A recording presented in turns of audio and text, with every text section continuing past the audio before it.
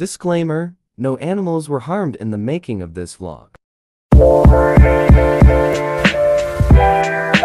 Before I show you the video of how I bathe my pet hedgehog, let me share to you first the pictures of the hoglets of my hedgehog pair.